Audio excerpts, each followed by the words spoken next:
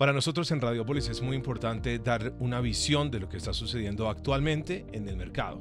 Y por supuesto, para nosotros es supremamente importante ir mirando y darle una pequeña visión al futuro. Un futuro que hoy por hoy se construye eh, con una gran cantidad de expectativas, pero que va cambiando todos los días de manera impresionante. Por eso tengo la suerte y tenemos la suerte en este LinkedIn de Radiopolis de invitar el día de hoy a una persona que ha sido líder en, el mercado en, los, en estos años, que nos viene enseñando muchas cosas importantes y que por supuesto ha estado eh, inmerso en eh, cómo funciona actualmente el mercado, qué es lo importante en el mundo laboral el día de hoy, cuáles podrían ser los desafíos en el mundo laboral versus la inteligencia artificial y por supuesto, digamos que todo el tema de marca personal. Viene a presentarnos un libro nuevo que me encantó, se llama Power Skills. ¿Qué son las Power Skills? Esas cosas que hoy no se enseñan en la técnica sencillamente se aprenden de otra manera. Vamos a conocerlas hoy. Borja Castelar, bienvenido hoy a nuestro LinkedIn de Radio Por Estamos de verdad muy contentos de tenerlo por acá porque usted es un conferencista que además ya no tiene tiempo. Usted es una persona que, que ha liderado no solamente charlas, eh, grandes movimientos, sino ha generado un cambio de pensamiento muy interesante. Bienvenido. Muchísimas gracias por la invitación, Javier. Un placer estar aquí. Bueno, muy bien. Yo voy a arrancar con una pregunta. Usted me va a disculpar por qué le pregunto esto de entrada. ¿Cuántos años trabajó en LinkedIn? Sí, casi 10 años. Bueno, y usted, perdón, voy a esto lo voy a leer textual. Es director de LinkedIn, donde lideró por casi una década la división de soluciones de talento, primero para Europa, donde las oficinas en Irlanda, y después para Latinoamérica, desde su sede central en Sao Paulo. Así es como acaba en Sao Paulo. bueno, y casi una década en LinkedIn. ¿Y usted era feliz en LinkedIn? Tenía muchas oportunidades. Llegar a esos cargos no es fácil. No, de hecho, es una empresa que siempre digo que, me ha dado todo. Y me sigue dando todo. De hecho, muchas veces me contratan para conferencias por haber sido director de LinkedIn, de hecho. Es decir, todavía la marca LinkedIn la voy arrastrando y me sigo beneficiando hoy en día, de hecho. Y es una empresa, como digo, que me ha tratado, bueno, como Google, Facebook, son empresas que siempre digo que es la jaula de oro del mundo corporativo. Que la comida gratis, que si los masajes, que los... Entonces te trata muy bien y es muy, muy difícil salir de ese mundo, la verdad. Voy a hacer dos preguntas. Usted me dirá si las podemos responder o no. Claro que sí. Más o menos, ¿cuánto se ganaba usted en LinkedIn? Eh, pues depende, porque trabajaba en la parte de ventas para empresas. ¿Y había bastantes ceros? Depende del, depende del mes, había algunos ceros. Pero eran buenos ceros. Había buenos ceros, sobre entonces, como director. Entonces la pregunta es, ¿por qué deja LinkedIn? Porque empecé a tener mucha demanda por la parte de educación, de conferencias. Me buscó LinkedIn Learning, que es la plataforma de aprendizaje que tiene LinkedIn.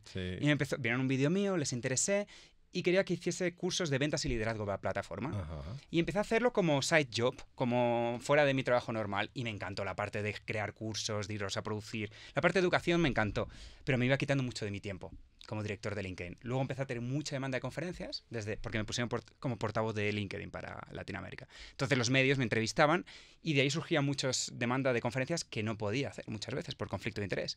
Entonces, entre la demanda que tenía de conferencias, de cursos, y la parte de cursos online con LinkedIn Learning, llegó un punto que tenía tanta demanda que dije, ah, me lanzo, me lanzo a la parte de educación, de conferencias, cursos y mis libros. ¿Qué crees que hiciste diferente a tus compañeros? Porque obviamente ascender en el mundo corporativo pues es muy importante, pero ¿qué crees que hiciste diferente?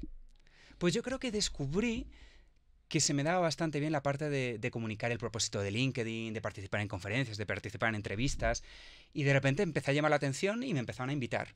Y yo creo que fue las habilidades, las habilidades interpersonales, los power skills, lo que me hizo de repente tener una demanda fuera del mundo corporativo. Hasta tal punto que tenía tanta demanda que dije, ahora es el momento de dejar el mundo corporativo y dedicarme por, por mi cuenta de las Power Skills vamos a hablar en un momento.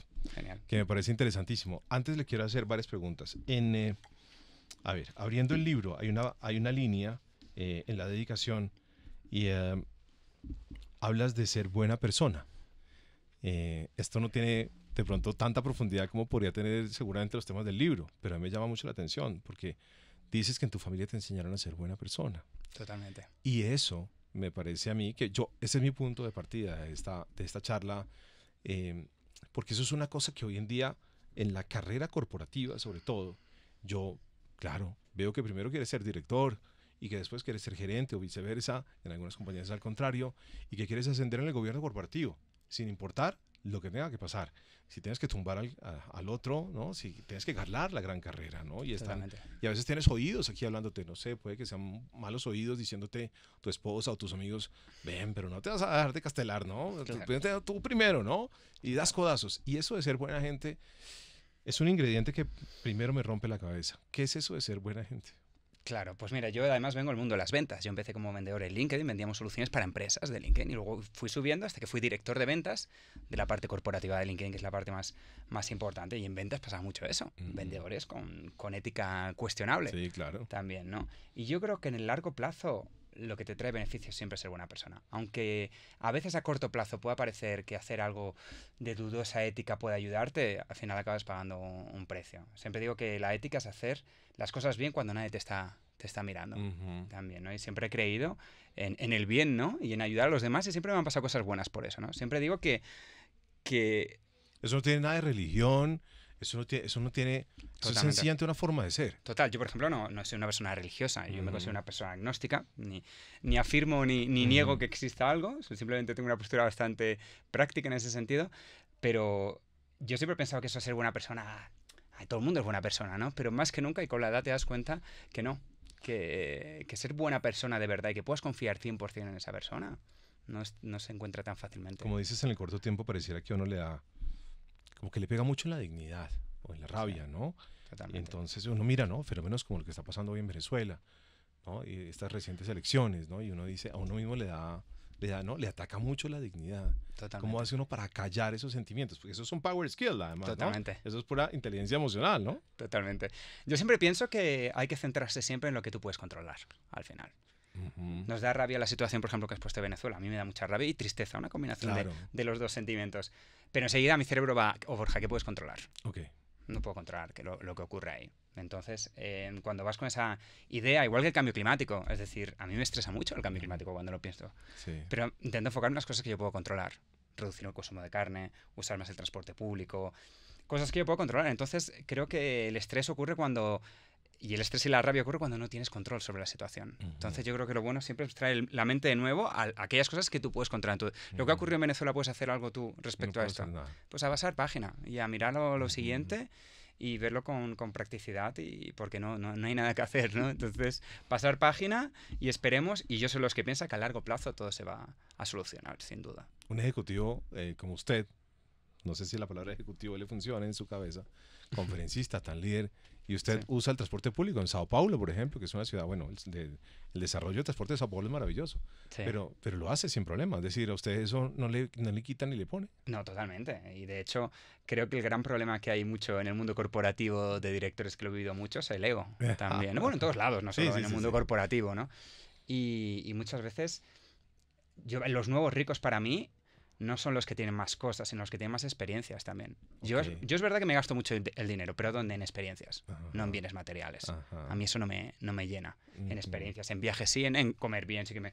Pero en bienes materiales, ¿para qué? ¿no? Y transporte público igual, ¿para qué voy a estar gastando con esto si tienes un buen transporte? ¿no? Depende de la ciudad, obviamente. Sao Paulo tiene un metro muy bueno, por ejemplo. Yo voy caminando de bicicleta o de metro, una de los de los tres. Pero creo que es bueno controlar ese, ese ego y, y no enseguida subir el... Siento mucho eh, directores de otras empresas que enseguida tienen salarios enormes, suben su nivel de vida altísimo. Exacto. Es un error gravísimo. Yo invierto, muy, gran cantidad de lo que gano lo invierto. Y vivo y soy feliz. Los bienes no, no me dan más felicidad. El, tener una casa más grande o el tener un coche de lujo, a mí, en lo personal, no me aporta nada. Es un poco la antítesis, un poco la antítesis del mundo corporativo, conociendo usted muy bien el mundo corporativo. Totalmente, totalmente lo Y, y del mundo corporativo es todo, muchas empresas, mucho ego. Yo siempre digo que el, ego está detrás de todos los problemas corporativos. De todo. De discusiones, de, de, todo, de problemas, de falta de colaboración. Está absolutamente detrás de, de todo. Y si no controlas tu ego, lo vas a acabar sufriendo en el largo plazo también. Muy bien. ¿Qué es marca personal, Borja Castelar? Cuéntanos. Marca personal es lo que te diferencia hoy en día del, del resto. Es, no es algo opcional. Siempre digo que la marca personal es lo que fue en el siglo XX el título universitario. Es decir, es súper importante, más importante que nunca. Nos van a contratar por la red de contactos que traemos. Entonces, esto no es algo, ah, voy a hacerlo. No, no. Es que es con Internet, con todo lo que está llegando ahora, es la forma de diferenciarte del resto. Bueno, vámonos entonces a los Power Skills. Perfecto. Y entonces, yo encuentro los Power Skills y entonces saco unos por aquí, los voy a mencionar. Eh, inteligencia emocional, comunicación, creatividad, persuasión, colaboración, empatía, pensamiento crítico. Y hablas de esta eh, manera de ser empático para crear una red ¿no? de networking de alguna manera.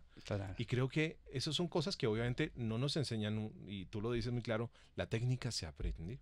Claro. ¿Cierto?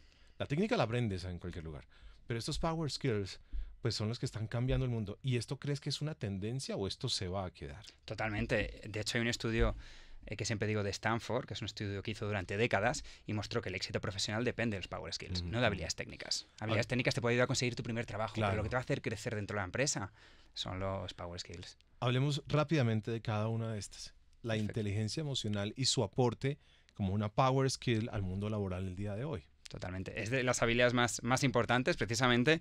Lo que falta a veces en, en, los puestos directivos es inteligencia emocional, ¿no? Todos lo sabemos. Esos jefes que gritan, que tratan mal, y que luego en su vida personal son súper cariñosos, que tienen dos caras totalmente diferentes. Tienen una cara profesional y una cara personal que no tiene nada que ver, incongruente completamente. ¿No? ¿Por qué? Qué ridículo. Eso pasa mucho en, el, en, en muchos países. En Colombia, por ejemplo, siento que muchas personas tienen la necesidad de poner esa cara corporativa o esa cara de que soy un súper profesional. ¿Pero para qué? ¿No? ¿Qué, ¿Qué, cosa más ridícula. Entonces, la inteligencia emocional es algo que, que no nos enseñan en la escuela eh, obviamente, siempre digo que cuando me preguntan, Borja, ¿qué son Power Skills? Pues todo lo que nos enseñan en la escuela. Exactamente todo lo que nos enseñan. ¿Qué te enseñan en la escuela? Solo habilidades técnicas. Matemáticas, geografía, todo esto son habilidades técnicas. nada de habilidades interpersonales, nada de power skills. No te enseñan a comunicarte, no te enseñan a lidiar con tus emociones. ¿Cómo es posible que te enseñen cómo está compuesta en mitocondria? O que España descubrió América, como lo hace mucho en España, y no te, y no te expliquen y no te, no te ayudan a lidiar con tus emociones. Solo en pocas excepciones puedes ver esto. Y esto debería ser una asignatura obligatoria, inteligencia emocional en las escuelas, para explicar a los niños las diferentes emociones que existen y por qué existen esas emociones. Y cuando aprendes sobre esto, sabes lidiar mucho más con tus emociones y con la de los otros, ¿no? Entonces, esto tiene que haber un cambio de paradigma en el sistema educativo obsoleto industrial en el que estamos viviendo, total. Quienes nos están viendo en este momento que tienen esa, esa personalidad del mundo corporativo, obviamente, cada quien tiene su proceso de vida. Pero yo creo que puede ser, claro, puede ser un golpe muy duro, ¿no? Porque, porque el ego está construido de esta manera del mundo corporativo. Es voy a ascender, voy a tener un salario, ya mis amigos ya no son mis amigos de antes, son mis nuevos amigos están en el club, ¿no? Y me juntos con ellos, ¿no? Y voy de aquí para arriba a ver a dónde más puedo llegar, ¿no? Totalmente. Es un poco así. Totalmente. Y, es, y como digo, también es, es ridículo, es decir, eh, tienes que estar siempre trabajando tu autoconocimiento, tu inteligencia emocional para darte cuenta y no dejar que los éxitos eh, te llevan a creerte el último, la última galleta, como se dice en Brasil. ¿Nos comunicamos bien eh, los latinoamericanos para no irnos tan lejos? Depende. Yo creo que en Latinoamérica lo que ocurre mucho es que a veces no os lo creéis. Cuando digo que no os lo creéis, ahora estaba haciendo una conferencia en, en, Bolivia, por ejemplo, en Santa Cruz de la Sierra, y me impresionó muchísimo la ciudad. A nivel económico, cómo está creciendo, las empresas que están creando, las startups. Impresionante.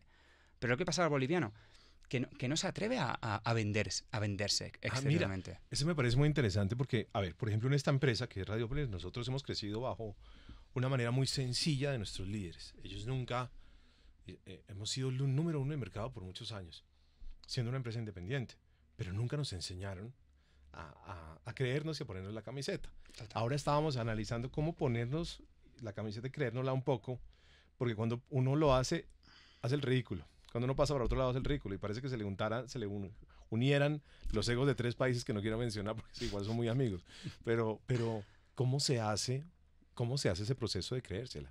Claro, yo creo que primero de todo es darte cuenta, tener conciencia de que lo más importante no es lo que sabes, es cómo lo comunicas.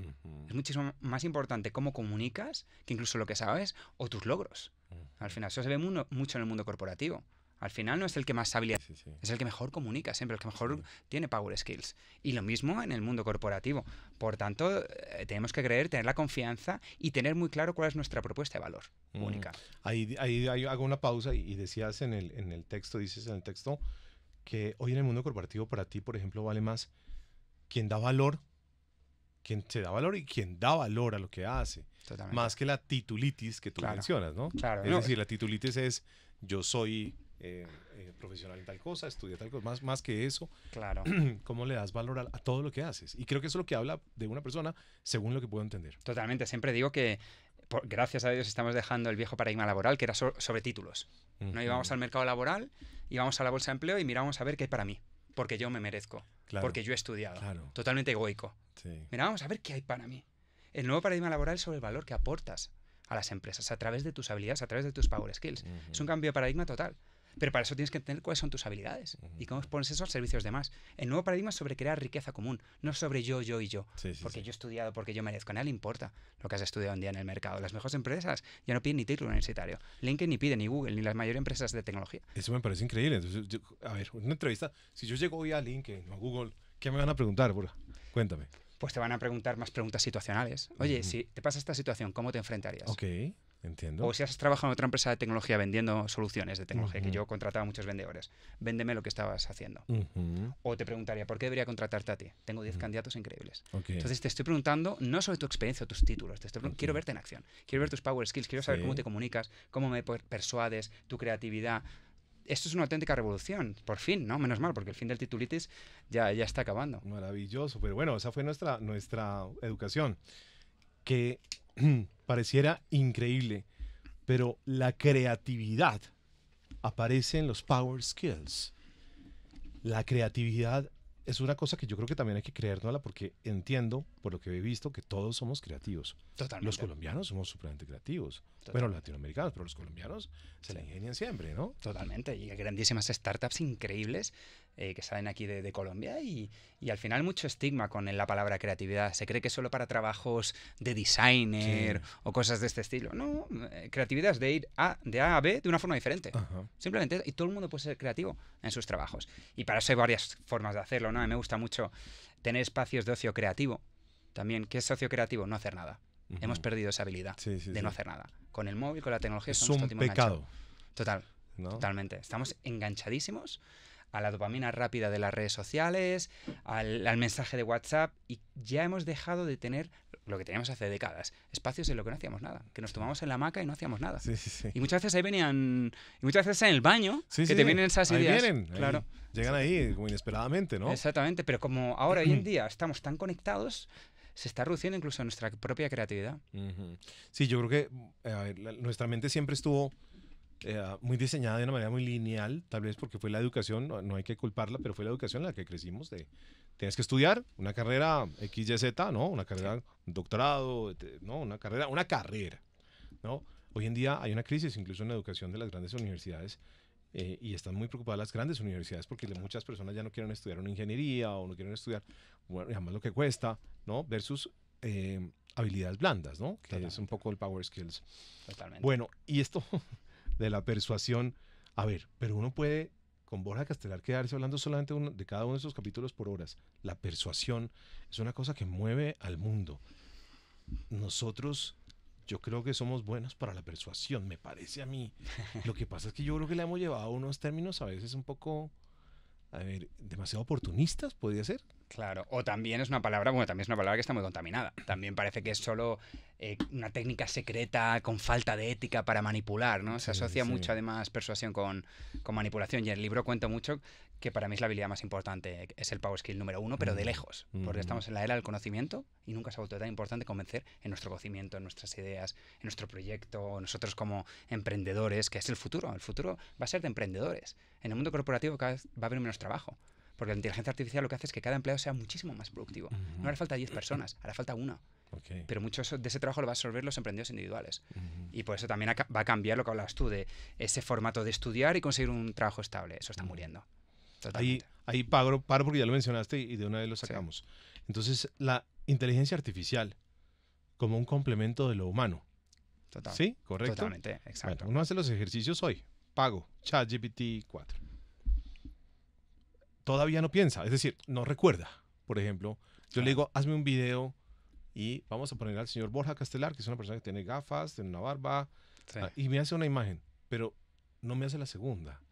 Es decir, creo que toda falta, sin embargo, va a ser una herramienta de construcción para, para seguir apoyando el trabajo humano o definitivamente ser una amenaza total, como dice, se, se tiene esa incertidumbre un poco. Claro, en el medio o corto plazo, no sabemos nunca en el largo plazo hacia dónde van a ir esto. Nadie sabe tampoco los empleos que va a haber en el futuro, y quien diga eso miente. Es decir, es como contar a alguien en los 90. Imagínate a principios de los 90 explicar a alguien eh, los trabajos que hay hoy en día, que dependen de Internet. Es una locura. Primero tienes que explicar primero qué era Internet. Entonces, eh, eh, ahora te transportas a, los años, a 1992 y le explicas a alguien pues muchos de los trabajos que hay. Es que sería es que no lo iba a entender. Porque primero tienes que explicar Internet y te diría, ¿pero qué es esto de Internet? No, una cosa que está... Te aseguro que sería, llevaría horas para que esa persona consiga entender lo que es. Por lo mismo va a pasar en los trabajos de dentro de 30 años. De hecho, hablando de eso, mi padre el otro día, me, la semana pasada, me dijo, oye hijo, quiero, quiero hacerme esto de Instagram. Y le digo, así, ah, y cuéntame cómo funciona. Y digo, bueno, pues papi, pues te subes unas fotos y la gente pues pone me gusta. ¿Y, por qué la gente haría eso? Entonces, eh, eh, me di cuenta y digo, qué complicado, ¿no? Eh, y lo mismo, dentro de 30 años, imagina, es muy complicado saber. Lo que está claro es que los Power Skills se van a destacar en, esta, en este futuro del trabajo con la inteligencia artificial, porque al final la inteligencia artificial lo que hace es quitarnos la parte técnica y más repetitiva de los trabajos. Y nos va a potenciar para llevar al lado más humano. ¿Te has encontrado en las conferencias, antes de seguir con los otros Power Skills, te has encontrado en las conferencias con compañías que te han contratado y tú has llegado a darles un discurso al contrario de lo que ellos pretendían y como y que te miran como diciendo este señor que nos está haciendo es un daño o algo así? No, nunca, no, nunca me ha pasado y todo lo contrario. Ya lo digo, en el mundo corporativo la inteligencia artificial va a agregar muchísimo valor a las empresas, porque al final tenemos que ver todo esto como herramientas que mejoran la productividad. Tan fácil como eso. El chat GPT está para aumentar, yo lo uso cada día y soy cuatro veces más productivo gracias a ChatGPT. Entonces, simplemente es para aumentar nuestra productividad, son herramientas para potenciarnos, no para sustituirnos. Es verdad que los trabajos repetitivos y asociales van a acabar, eso no hay duda. Pero otros tipos de trabajo, por ejemplo, incluso trabajos repetitivos, repetitivo y social, como puede ser un profesor, el trabajo de un profesor es repetitivo y social. Esos van a cambiar para mejor porque le va a quitar la parte repetitiva, corrección de exámenes, que es la mitad del tiempo, para dedicarse a una enseñanza personalizada a cada uno de los alumnos. Todo lo contrario, la mayoría de los trabajos van a mejorar, van a ser más humanos que nunca. Es un poco una ironía, ¿no? Pero la inteligencia artificial va a hacer que los trabajos sean más humanos y, por tanto, las habilidades humanas, los power skills, van a ser más esperamos todos, ¿no? Además, ¿no? Es lo que esperamos. nosotros decimos el futuro, además. Somos nosotros quien creamos esto. Entonces, nosotros tenemos todo. Eh, esperemos también, ¿no? La colaboración aparece en los power skills. Totalmente. Es de los importantes. a ver, y aquí hay varias cosas, porque a nosotros no nos enseñaron a ser colaborativos. Nuestra educación básica no es tan así, ¿no? Digamos que de alguna manera sí fue, fue muy centrada en lo individual, ¿no? Tú, lo que hablábamos ahora, tú tienes que ir tú, ¿no? Totalmente. ¿no? Y, y que ser colaborativo y ven, yo le ayudo al otro departamento y tú dices, pues, ¿acaso él va a venir a hacerme mi trabajo? ¿Yo por qué le voy a ayudar a él, no? Total. Eh, y se está reflejando mucho en la sociedad, yo creo, que, somos muy agresivos, ¿no? Entonces queremos pasar primero en el, en el semáforo. Eh, y todo, creo yo que esa palabra colaboración no estaba un poco en nuestra lista. No, y otra vez volvemos al sistema educativo industrial y obsoleto que está roto básicamente, ¿no? Que, es, de hecho, es totalmente industrial. Pones a niños de la misma edad que van avanzando como si fuera una cadena de montaje hasta que hay un producto final, ¿no? Es la misma idea asociada al sistema educativo. Y lo que tiene que haber es una revolución y empezar a dar más importancia a asignaturas que a priori parecen menos importantes. Mm. Deportes. Para mejorar la colaboración, precisamente. Ahí, no, y, de alguna manera te, agilizan la, cabeza, ¿no? Totalmente. Y muchas asignaturas que trabajen por proyectos. juntas, haces un proyecto, juntas a cuatro alumnos y es una nota eh, grupal, ¿no? Tiene que haber eso también y otras asignaturas. Yo creo que, por ejemplo, clases de teatro tienen que ser obligatorias en las escuelas para mejorar la comunicación y la persuasión. Deben ser completamente obligatorias. De pintura para mejorar la creatividad. De música para la creatividad también. Tiene que haber una auténtica revolución. Por lo menos que haya la mitad de Power Skills y la mitad de habilidades técnicas. Hoy en día es 100% habilidades técnicas. Esto versus el mundo académico. Es decir, yo puedo tener todas estas Power Skills, por ejemplo. Digamos que las tenemos. Pero de alguna manera, ¿qué me soporta atrás? Porque debe haber una titulitis en mí o no. O no, no, no debería tenerla. No debería preocuparme porque no estudié periodismo, no estudié tal carrera. No, y menos en un mundo en el que el emprendimiento será la nueva norma, más que nunca. Entonces podrás aprender, emprender, con inteligencia artificial, de hecho, va a disparar el número de emprendedores. Nunca va a ser tan fácil emprender como ahora y entender y la clave para mí a nivel de Power Skills es centrarte en tus fortalezas. Entender cuáles son tus fortalezas y cómo pones al servicio de los demás y ahí crear un negocio en torno a eso. También dices en el libro que, que, obviamente uno tiene que trabajar en sus debilidades. Pero tampoco es gastarse todo el tiempo en las debilidades porque no vas a nunca aprovechar tus fortalezas, ¿no? Claro. Es un balance, un mundo de equilibrio entre las dos cosas. De hecho, el enfoque tendría que ser la mayor parte del tiempo centrando en nuestras fortalezas. El problema es que venimos de una sociedad que es todo el tiempo céntrate en las debilidades. Perfecto. El colegio, ¿dónde te echaban la bronca a los padres? En joder, Borja, otra vez matemáticas. Ah. En, en, la empresa, feedback de mejora, siempre feedback de mejora. Nunca feedback motivacional de, oye, lo estás haciendo muy bien, continúa así. Parece que el foco siempre, el enfoque siempre en las debilidades. Y la magia en la carrera profesional ocurre cuando usas tus fortalezas, sobre todo a nivel de Power Skills. Mira cómo la colaboración funciona de la mano con la empatía. De alguna manera también es que todas están muy unidas. Claro. Pero esa empatía que tampoco nos enseñaron, o pues no las aprendimos porque además, eh, obviamente cada, es respetable la forma de ser de cada quien. Claro. Pero yo definitivamente, yo fui una persona, por ejemplo, yo fui una persona que creció muy tímido. Hoy en día tengo amigos por todas partes y hablo con todo el mundo. ¿Y te consideras introvertido hoy en día? Eh, tengo mis ratos de introversión para yo, ¿no? Como pero yo tengo una cierta empatía en una serie, de cosas y, y, en el mundo del networking tengo una, tengo una facilidad, creo. Pero la empatía, eh, digo yo, no se construye tan fácil, creo yo, si no hablamos del amor hacia el otro. Es decir, eh, implantar el odio es muy sencillo y los lenguajes, los discursos de odio que hay alrededor del universo hoy, pues son muchísimos y diversos, ¿no?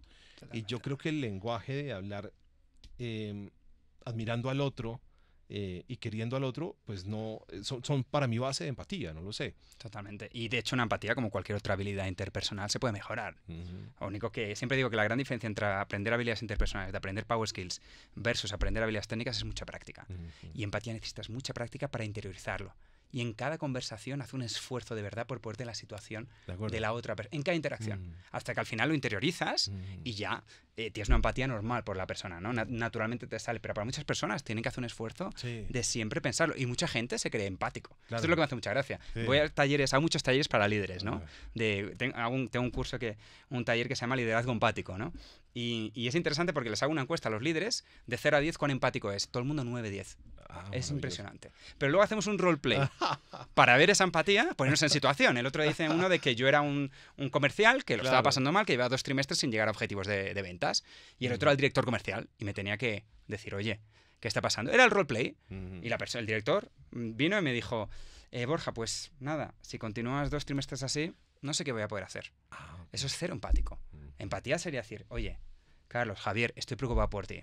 ¿Cómo te puedo ayudar? Exacto. A veces es el lenguaje que tenemos que cambiar para generar empatía. Perfecto, maravilloso. Finalmente en estos Power Skills está el pensamiento crítico. que yo digo, pucha, yo veo a los líderes de esta organización y tienen una, una manera de ver las cosas de una, desde un punto de vista tan crítico y cuando eh, argumentan algo, lo traen a colación con una manera yo digo, claro, yo como no había visto estos puntos de vista. El pensamiento crítico, tú puedes ser crítico en, en, eh, en unos aspectos. ¿Cómo ser crítico o tener pensamiento crítico en todo lo que hacemos? Claro, esto es un trabajo continuo, lo del pensamiento crítico. Siempre lo digo, el otro día lo hablaba con, con un speaker que habla mucho sobre el pensamiento crítico, porque para tenerlo tiene mucho que ver con tener una mentalidad de curiosidad continua. ¿Qué quiere decir esto? Estar aprendiendo siempre estar leyendo eh, sobre la actualidad. De esta forma, tu cerebro va a conectar. Cuanto más sabes y más lees y más te informas, más desarrollas tu pensamiento crítico. Porque pensamiento crítico muchas veces es conectar ideas que parecen que no están, que, que, no deberían estar conectadas. Eso es el pensamiento crítico. Y se desarrolla como aprendiendo constantemente. Como digo mucho en el libro, teniendo mentalidad de eterno aprendiz. de estar siempre aprendiendo. El viejo paradigma, ¿qué ocurría en el viejo paradigma? Había una época de tu vida que estudiabas y otra en la que trabajabas. Hoy, en el nuevo paradigma, esa línea cada vez es más difusa. Vamos a tener que estar aprendiendo todo el tiempo. Acabó el día de la marmota de hacer lo mismo durante décadas. Oye, son buenas noticias. Pero hay que reciclarse, hay que estar aprendiendo constantemente. Bueno, yo creo que estamos. No sé si tenemos un Power Skill que se nos quede. No, estos serían los, los principales que quería resaltar en la Bueno, además Borja ha hecho, bueno, ya tiene varios libros eh, pero este me ha llamado mucho la atención y uno agradece que este tipo de cosas lleguen a sus manos. Esta entrevista también tiene el objetivo de expandir un poco eh, este pensamiento de Borja Castelar, a quien yo le agradezco mucho, no solamente esta entrevista, sino pues eh, haberse, haber, haber tenido esta oportunidad de contarle al mundo otros puntos de vista que hoy por hoy son los que están moviendo en realidad al mundo corporativo y en general pues al mundo, ¿no? Digamos que esto es lo que está pasando y, como yo le preguntaba hace un rato, no es una tendencia, es algo que se va a quedar y va a ser para siempre. Borja Castelar, muchísimas gracias por estar un gustazo. aquí en Radiopolis y en nuestro LinkedIn de Radiopolis. Muchísimas